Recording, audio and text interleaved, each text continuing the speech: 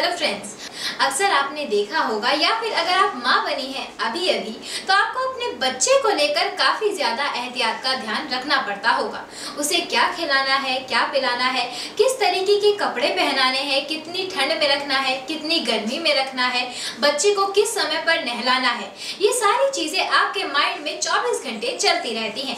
लेकिन जब भी बात आती है बच्चे को नहलाने की तो अक्सर माओ को ऐसा लगता है कि मार्केट में मिलने वाला बेबी सोप ही बच्चों के लिए बेस्ट और आखिरी ऑप्शन है, जबकि ऐसा बिल्कुल नहीं है। आपने कार्बनिक साबुन के बारे में सुना होगा। आइए जानते हैं कि नवजात शिशु के लिए या फिर छोटे बच्चों के लिए कार्बनिक साबुन किस तरीके से लाभदायक है। टिप नंबर वन कार्बनिक साबुन के बहुत सारे फ़ायदे होते हैं। ये सेंसिटिव स्किन को काफ़ी ज़्यादा सूट करता है। प्राकृतिक चीज़ों से बना होता है, इसीलिए बच्चों की नाजुक त्वचा के ऊपर इसका कोई भी साइड इफ़ेक्ट नहीं होता है।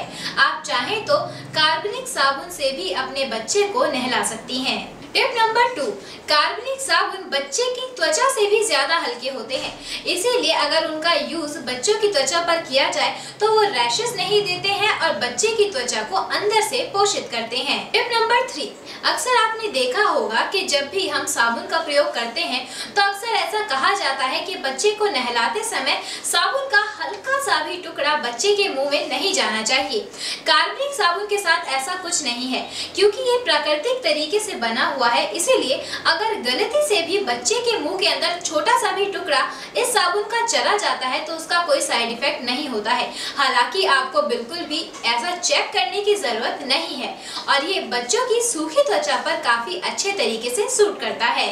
टिप नंबर फोर, कई बार आपने देखा होगा कि बच्चों की त्वचा काफ़ी ज़्यादा सेंसिटिव होती है, जिसकी वजह से अगर हम किसी भी प्रकार का कोई साबुन या फिर कोई अन्य चीज़ बच्चों की त्वचा पर लगाते हैं तो उसकी वजह से रैशेस पड़ने शुरू हो जाते हैं।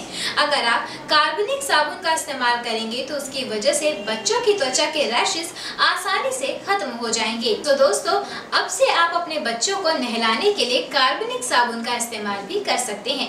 इस वीडियो को देखिए और अपने व्यूज़ को हमारे साथ शेयर करिए। मेरी ब्यूटी और हेल्थ से रिलेटेड वीडियोस को देखने के लिए यूट्यूब पर लाइक शेयर और सब्सक्राइब कीजिए।